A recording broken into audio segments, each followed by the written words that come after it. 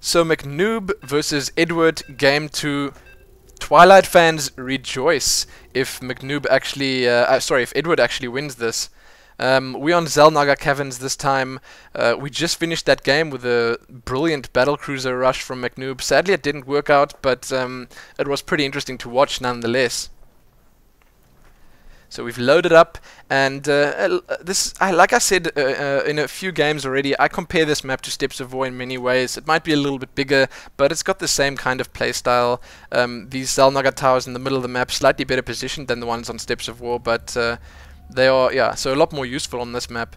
Um, and here goes this this incredibly early probe, scouting immediately around uh, these minerals that is natural, and he's going to probably have a look around everywhere, but he doesn't go behind those trees once again. Um, it's pretty much impossible. I mean, uh, I'm not even sure why he scouted there. I just got to tell you guys that it's it is it is physically impossible for an SCV to be there that early. So that little bit of scouting there was pretty useless. Um, he does lose out on a bit of income there if we have a look at the income tab, I don't think he'll be behind, but um, oh well, he is in fact a little bit behind. But uh, it's pretty it's pretty silly scouting that early. I guess he just wants to make sure. And McNoob doing nearly the same thing. He's putting his supply depot in the back of his base here so that he can see if there's going to go a pylon up there or not. And uh, Edward just looking around on uh, at McNoob's base here, not seeing anything yet. He's going to see that supply depot going up though, so uh, I suppose he won't be suspecting anything really crazy here.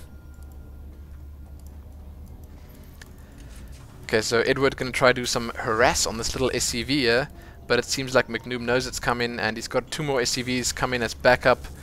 He might only need one. So Edward's gonna have to hightail it out of there. He doesn't want to lose another probe. Well, he doesn't want to lose a probe this early, at least. In Edward's base, we've got pretty standard stuff going down. Um, gateway, pylon. He's chrono boosting those those extra probes out. I suppose he needs to do that. He wants to get his economy up and running.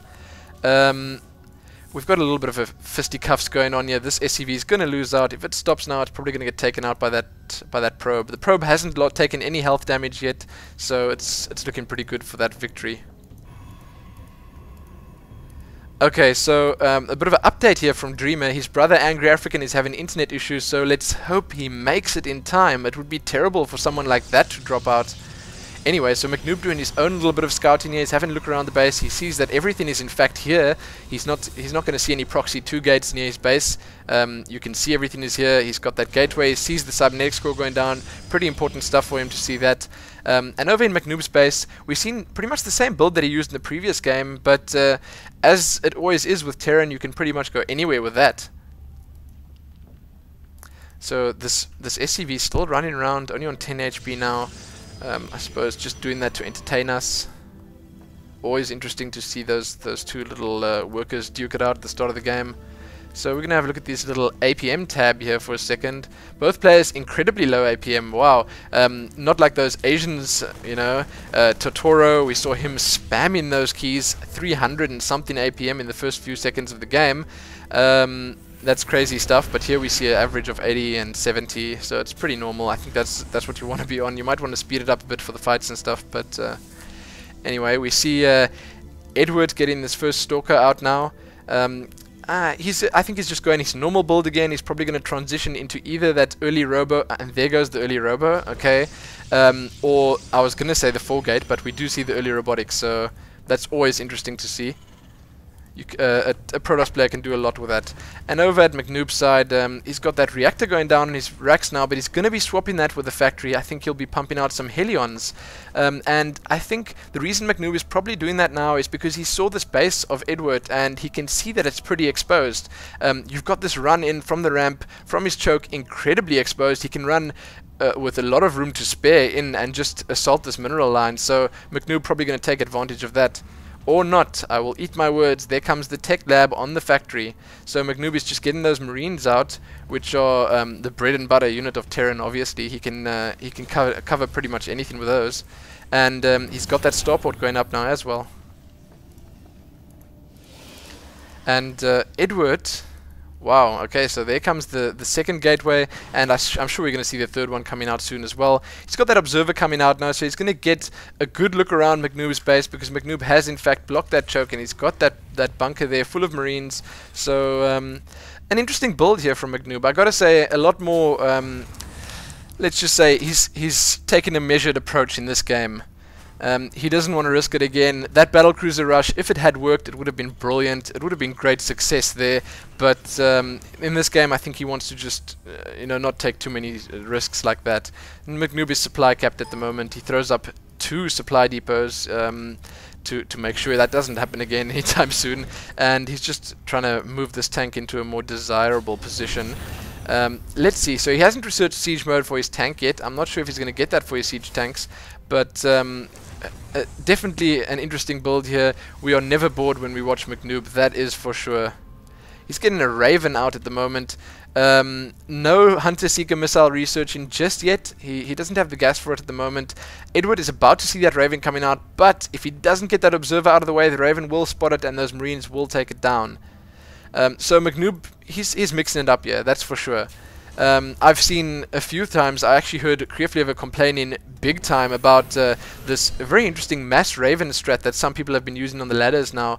Um, he says he was taken down a few times by it as, as Zerg. They just build those Ravens, they throw down those auto turrets everywhere, and I mean absolutely everywhere, a screen full of auto turrets, and um, then they just pretty much slowly but surely steamroll you with that.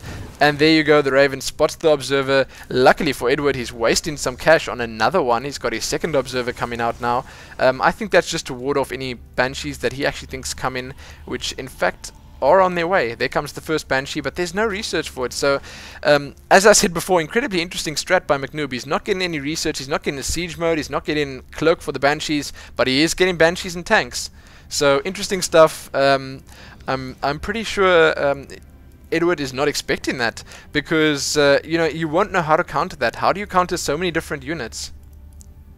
McNoob seems to be saving up a little bit, as one of our observers just mentioned. He's got quite a few minerals there, and um, Edward taking his chances at expanding at his, I think that would be called his second natural, but it's behind these destructible rocks, so um, it is pretty much out of the way. If McNoob doesn't on purposely go scout down there, he's not gonna, he's not gonna see that. So it looks like it's go time for McNoob. He's on the move now. He has absolutely no idea of what's going on in Edward's base at the moment. He knows there are four gateways down. He knows there's that robotics facility, but he doesn't know what the army composition looks like. And here come those SCVs again. McNoob and his all-ins. You know, this is crash and burn every time. Let's hope he makes it this time for his sake and for our sake. We want to see a third game. We want to see these two battle it out once again.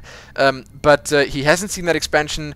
Edward has just wasted a few minerals on that, and the, the assimilator is thrown up over there. So um, that means he is at a slight disadvantage at the moment, but let's see if McNoob can capitalize from that. Not a good time to be lagging, guys. Um, McNoob is on the move here. He sends that Raven in slightly carelessly. It takes a bit of damage there, but um, he just wants to get some sight up there. Edward doing incredibly good job at just blocking this ramp off with his with his shields here. He's going to want to block it off again. Put a force field down. You're going to have to do that incredibly soon. Um, if he doesn't block, and he does block it off again, yeah, um, he's going to try to keep him out as long as he can because he can see all those SCVs there. He knows if he just holds out a little bit longer, um, he'll he'll have this game because he has obviously McNoob has taken off all those units from his supply, his mineral line, and here we go. The fight starts. A lot of Marines trapped here by these force fields, and Edward playing brilliantly here. Some nice micro. He managed to isolate those, isolate those Marines with those force field and uh, just pick them off like that. The Raven going down. The Raven is dead, and uh, wow, McNoob slowly being whittled away here by Edward and his uh, Stalkers and Immortals. Not such good play from from McNoob. I think the only thing he was missing here was siege mode on those tanks and there it is. As I was about to say he needs that siege mode. If he had that when he first attacked it really really would have saved that for him. I think he might even have won that fight and uh, taken this game. But have a look at this. All those SCVs on their way back to his base. So all in aborted by McNoob. Not the best idea. This is um, this is not great for Mc